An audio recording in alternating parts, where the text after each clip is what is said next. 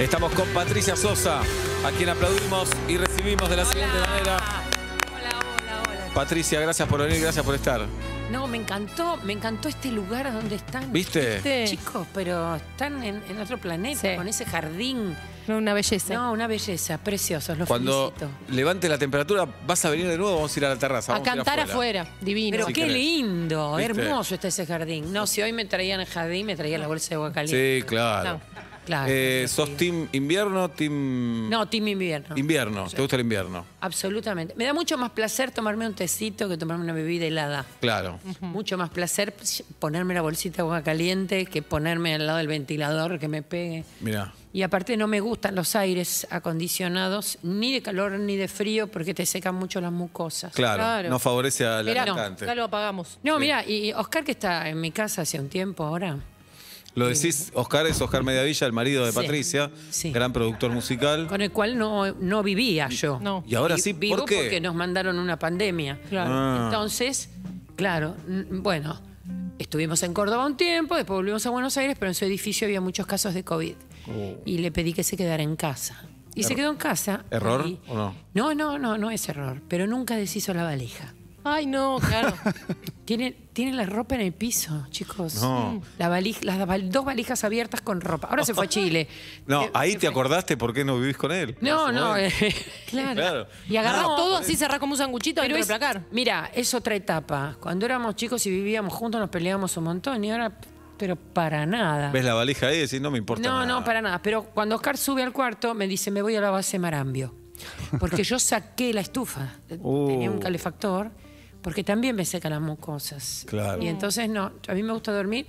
Pongo por ahí el, el calor, el del aire acondicionado, lo pongo media hora antes de ir a dormir, lo apago y después me meto con bolsa de agua caliente. Claro. Pero el ¿No pobre es traicionera la bolsa de agua caliente? es que yo la cambio cada tanto. Mm, Uso bolsa de agua caliente desde que tengo cinco años, o sea que es mi fiel compañera. claro. Mi más- confidente. Mucho más que Oscar. Sí, mi confidente, mi amor, me ag- me agarro a la bolsa, es decir, Más confiable.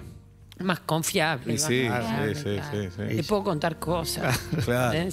Uno habla con su bolsa. Bien, y, y cuando termine la pandemia, porque esto va a terminar en algún momento, Patricia, Esperemos. ¿vos decís que se quedan viviendo juntos o que vuelven a este, Eh, a este sistema que hoy te le- le dio diría, muy buenos resultados? Hoy te diría que sí, que nos quedaríamos Mirá. viviendo juntos. Sí. Pero justo que- no está ahora. Que Entonces. hasta ahora, porque justo no está y entonces Claro. lo extraño. Claro. no, no, porque funcionó perfecto. Eh, estar Tal vez, solos tal vez cinco funcionó meses- porque saben que se termina, ¿eh? Ojo. Puede ser. Puede ser también, pero nosotros no tenemos un manual de cómo se es feliz. Vamos viviendo el día a día y no te digo, que- no, no peleamos, ya no peleamos, no, no. A veces estamos en desacuerdo de alguna cosa, pero termina enseguida. Claro. Termina Bien. enseguida. Qué lindo esa Después calma, de ¿eh? 46 años, chicos, Claro. ¿no? Que, que si, te, si peleas todos los días, bueno, cada uno... Pero Chao. trabajando juntos, cuando, cuando coinciden laboralmente, ¿no, se- ¿no vuelven a pelear ahí? Sí, Ah, ahí sí, pero ahí sí pero hay termina, pelea. empieza y termina. Ah, es laboral, se entiende. No es laboral. como antes. No antes trabajábamos juntos, nos peleábamos y después íbamos a casa y dormíamos culo con culo, ¿viste? Cuando, ¿viste? Cuando no no querés ni ver porque te dijo que estaba desafinado. Claro. Y eso era. lo no, y ahora no me importa. Claro, ¿qué te importa? Bueno, está desafinado, lo afino. Sí, claro, claro. es así. No, no, no. Eh, uno aprendió a trabajar, a convivir. Eh, Muchos años, mucho tiempo y mucho amor en el medio, que es lo único que te salva. Es así, ¿no? Es querer a la Claro, otra es eso, persona. es eso. Bueno, vas a hacer un show el 17 de julio, Patricia. Ay, 17 de julio, ojalá que haga mucho, mucho frío. Así la gente no tiene otro plan. Porque en el verano no funcionaron los streamings. Me encanta tu sinceridad. ¿Verdad? Es Me encanta, me Claro. encanta tu En sinceridad. el verano no funcionaron los streamings. En el invierno yo hice dos y me fue fantástico. Pero después paré. Al ver que no estaban funcionando, dije, prefiero, prefiero parar y guardarme. Y ahora este es el primero del año que voy a hacer. Sábado, sábado El 17. sábado de julio. 17 de julio a las 21 horas lo, lo hago desde el templo, desde mi centro cultural. ¿Dónde es esto? Eh, queda en colegiales. Es un centro cultural precioso en la calle Gregoria Pérez. Dos músicos me dijeron que es el lugar que mejor suena. Sí. Del mundo. Bueno, no sé. ¿Del mundo? Sí, tendría que ser del Pero mundo. dos me dijeron que es. Vas ahí y sonás. No, no, sonás, porque tiene un sistema de celulosa proyectada en todo, en todo Oh. el ámbito, hasta en el techo que tiene 6 metros de alto. Mirá. Tiene un sonido que te morís, tiene una iluminación que te morís. Ya hicimos varias cosas ahí. Hizo el streaming Baglietto Vitale, después este Ángela Leiva, eh, bandas de rock. Además funcionó como centro cultural y tocaba un montón de gente. Y ahora lo tenemos habilitado como estudio de televisión. Qué bueno. Es decir, con cámaras y hacemos. El streaming va a estar genial porque yo me di cuenta, y es muy lindo darse cuenta. Vos sabés que la gente, los músicos, los colegas, me decían: es muy frío el streaming. Terminas de tocar y es na- nada. Claro. Sin embargo, cuando el último break de batería hace drum y cierra, y es el silencio absoluto, te viene una emoción, te viene una cosa, porque decís, uy, me canté para mí. Estoy con mi banda, me están arropando, la música me salva y para colmo el público no es un punto más entre una multitud que te está mirando, sino que le estoy cantando mirándolos a los ojos. Y yo como meditadora viajo y me voy a cualquier cocina, a cualquier comedor, a cualquier lugar donde esté solo o con familia, o que quieran hacer pogo, o que quieran bailarse un lento. Y me gustó muchísimo la experiencia del streaming. Es una experiencia muy, muy grosa, muy espiritual. Vos sabés que mientras que estaba cantando, me pasaban los mensajes en un monitor de, de la gente que estaba escuchando. Y en eso pedí que detuvieran la pantalla porque había de Shanghái.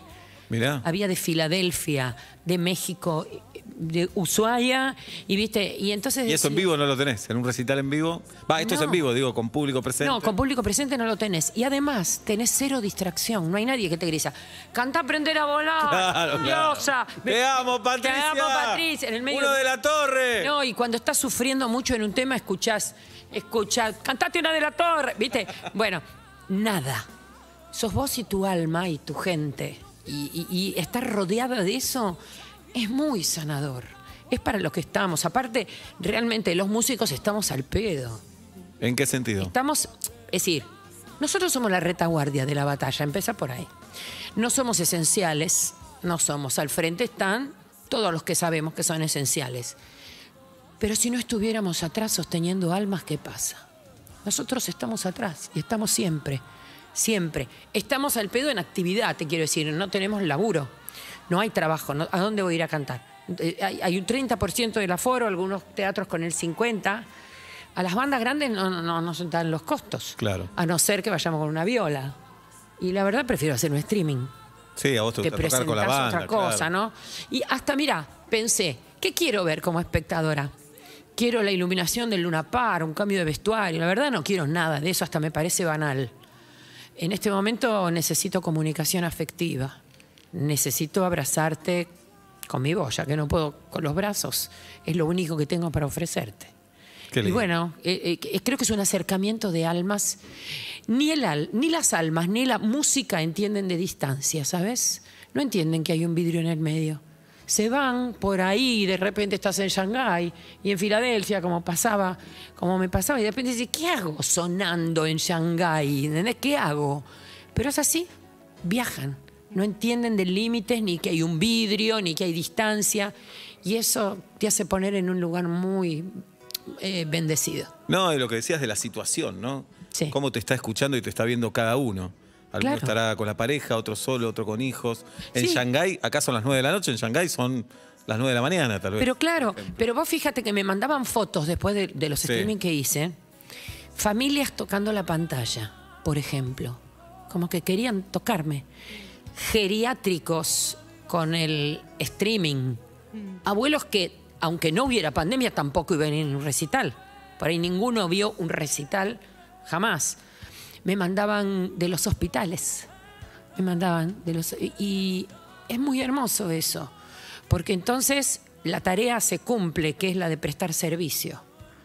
Entonces no estamos al frente, no somos indispensables, no tenemos subsidios ni los pedimos, ni tenemos planes ni los pedimos, y nos aumenta el impuesto a las ganancias que no ganamos. Es decir, vamos a poner las cosas en una balanza y como son, pero siempre estamos con alegría, rodeados por la música, ¿viste? Y eso creo que nos salva, nos está salvando. Y a un montón de gente también. Le, Sí, le yo lo salva creo. escuchar eh, los conciertos, los recitales, tus canciones. El 17 de julio, Patricia hace un streaming. ¿Cómo conseguimos las entradas? Las entradas se venden por ticket hoy. Vos sabés que las pusimos en venta ahora como mes y pico porque pensamos, mira, la gente no tiene un mango, entonces está bueno ponerlas antes, así las tarjeteás, Bien. las podés ir pagando. Eh, las entradas se venden por ticket hoy, la tiquetera es ticket hoy y, y no se metan a último momento porque te dicen se colapsó el sistema. Sonaste, claro. Eso que no soporto. Para- Frase que no soporto, pero las entradas por ticket hoy y va a estar re lindo, pero aparte voy a cantar algunas canciones que compuse en pandemia. Eso te quería preguntar, la lista de temas. Sí. Ya está hecha, es un quilombo hacerla. Es un quilombo hacerla. Es un quilombo, ¿no? Después Sí, es un años. quilombo. Porque, primero porque yo quiero eh, canciones que te dejen un mensaje, que te dejen pensando, que te saquen del cotidiano, ¿viste? Que canciones. Pero por otro lado me piden otras cosas, porque yo pedí que por mi Instagram, Patricia Sos Oficial, me empezaran a mandar qué temas me olvido de cantar de tantos discos que tengo y que les ha empieza. hecho compañía en algún Claro. momento. Y me mandan unos cho- algunos que ni me acuerdo que los grabé. Tenés que estudiar tu propio. No, no, que ni me acuerdo. ¿Y este tema de dónde lo sacaron? Es difícil armar un repertorio. Lo único que sé que como profesional siempre tenés que armar el repertorio de menor dificultad a mayor dificultad. ¿Cómo es eso? Claro. Técnica. Vos no po- claro, vos no podés entrar, aunque yo caliento la voz y vocalizo y todo, con una canción del 100% de exigencia. Vos tenés que entrar con lo más fácil. Y que, a ver, danos un ejemplo de lo más fácil. Ahora no me va a pedir que te haga lo más No, difícil. no, porque no que cante, que Lo más digas el título por ejemplo. Te Sí. pido que seas de cualquier manera. Te pido no te dejes caer. Se maneja en un tono cálido, se maneja en un tono donde yo siempre termino mucho mejor de la voz cuando terminé que cuando empecé. Claro. Eso es tener técnica, ¿no? Y los finales son rock and rolls al palo. El rock es el género más difícil. El más tocar. difícil. Y por el power que tenés que poner, claro. Claro. Pero Claro. ¿cuánto tiempo eh, ejercitas antes de, de cantar? ¿Haces una, Una, hora? media horita. Media hora.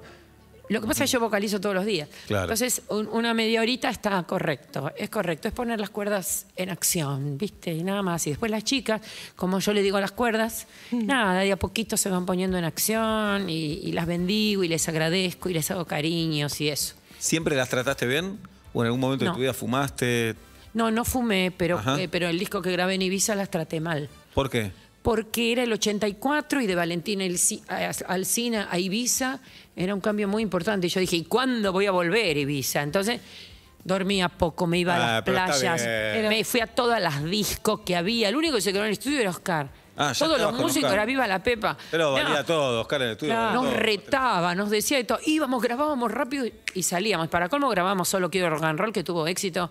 Yo canté tan mal, por favor. ¿Te mole- ¿Hoy lo escuchás y te molesta No, técnicamente? no es que me molesta porque ya lo superé. Lo superé. Pero hubo que superarlo. cada vez que suena, Oscar me dice, está desafinado. Ay, el no día de hoy, puedo ¿eh? creer. Qué pesado también, Mediavilla. Es ¿eh? pesado. Es Claro, pesado. soltá, Mediavilla, Sí, soltá. sí. No lo va a soltar nunca. En su ataúd va a poner. bueno. Está desafinado, me va a decir. Pará, Claro. ¿y vos pensás que el público percibe eso? ¿O al público le, le importa más el corazón? No, Ahí, no, el no lo- sentimiento. Tiene que ser demasiado alevoso. Claro, claro. Demasiado alevoso. Digo, ay, qué perro. Claro. ¿Viste? Pero no, no, la gente percibe otra cosa. Es otra cosa la que llega. A veces, cuando uno se da licencia de quebrarse y, y quebrar la voz porque lo, lo está sintiendo, es una licencia. Le decía a mi maestro, yo estudié muchísimo. Uno de mis maestros, el maestro Massa, que lo tuve como 10 años, me decía, eso está mal, querida. Dígame, maestro, ¿usted le dice te amo a su novia con la voz así? Se le va a escapar. no es lo mismo. Me decía, le digo, sí, la música popular es lo mismo. Y Nos peleábamos, pero era maravilloso.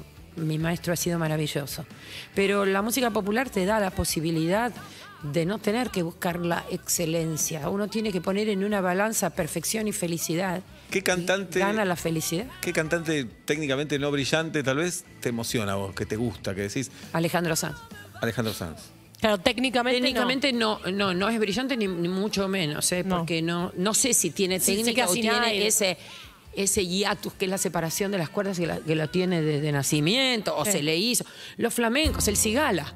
Claro. Claro. Vos escuchás al cigala y decís, ay, amputa una cuerda vocal, te querés matar y te mata. Claro. ¿Viste? Hace cada cosa, dice, dice de una manera, Goyeneche. Eso te iba a decir. ¿Qué onda el polaco Goyeneche? Goyeneche, Goyeneche No importa, canta lo que quieras, canta Sí, como claro. quieras, decímela. Hablaba, a veces. Decímela, ¿viste? Sí. Es decir, ¿Lo conociste a él, a Goyeneche? sí, lo conocí. Sí. ¿Tenías buena relación? Eh, poca relación porque quiso grabar conmigo. Mirá. Era algunas cosas, después se enfermó y no, no se pudo. Pero me hubiera encantado. Mm. Me hubiera encantado. A mí me gustan esos cantantes, no me gustan las perfecciones, me aburro mucho. El arte es imperfecto para todo. Me encanta equivocarnos y matarnos de risa. Me encanta hasta equivocarnos y decir paremos. No hacerme la que no pasó nada. Claro. Para el público. pero a veces que nadie se entera. No, bueno, pero sí, a veces se entera. El pianista te metió una armonía que no iba y, y quedó como el culo. Y, y a mí me encanta decir, chicos, en el escenario lo he hecho mil veces. Vamos de nuevo. Vamos de nuevo. Está mal, chicos, la armonía que están escuchando está mal. Vamos de nuevo. ¿Te olvidaste letras? Eh, pocas veces, pero. Al público para eso, ¿no? Eh, sí, mando al público y a veces digo cualquiera. A veces, Tirá, una vez, yo no sé si te conté lo que me pasó en Chile con No. la época de Pinochet. No, a ver. Vamos con la torre. Y el tema hit era Estamos en acción. Sí. Entonces, en un momento n- te mandaban a ensayar, que es lo que eh, supervisaban lo que ibas a tocar en televisión. Y dice, y aunque me vea un poco extravagante, mientras la gente se muere de hambre, corten. La gente acá no se muere de hambre. Ay, Dios.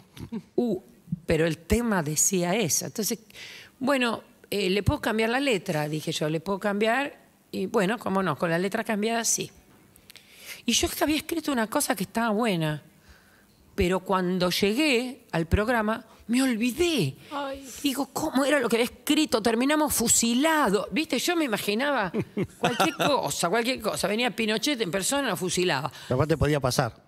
Digamos. Por supuesto Hoy que parece podía un pasar. absurdo, pero podía pasar. Podía pasar. Y dije, ¿viste cuando le estás pensando? Y aunque me vea un poco extravagante, yo ya con cara de sufrirme dije, mientras la gente se come un matambre. Y, y yo- no, imagínate la cara de la banda. Eh, La cara de la banda. Y a veces, cual- a veces araseo, Claro, no un- bueno, no me acuerdo, bueno, qué sé yo. Excelente. Y Patricia. Sosa con nosotros. 17 de julio hace un show por streaming. Ticket hoy. Ahí consigue las entradas. Apúrense. Después se colapsa, se quedan afuera, se pierden el show. Así que apúrense. El 17 de julio es un sábado para pasar un gran momento en tu casa a las 9. Es como tener a Patricia en tu casa, en tu cocina, en tu living, en tu habitación. Pasás una noche con Patricia Sosa. Pero mirá vos. Dios mío, a esta altura del partido. Escuchame. ¿te Mándale quedás- un saludo a Marta, te lo pido por Sí, favor. Marta es la hija de Patricia, que es una genia No, no, total. una fan de Sebas terrible. Pobre Marta. Es no, actriz, pobre Marta. no. Es pobre. actriz, Marta, Sí, total. actriz. Total. Un Mar- cacho de actriz. Marta Mediavilla Oc en las redes sociales. Marta Mediavilla. oh, Un cacho beso de- grande a Marta. Bueno, quédate un rato que jugamos Dale. después de la tanda. Con- Dale, dale.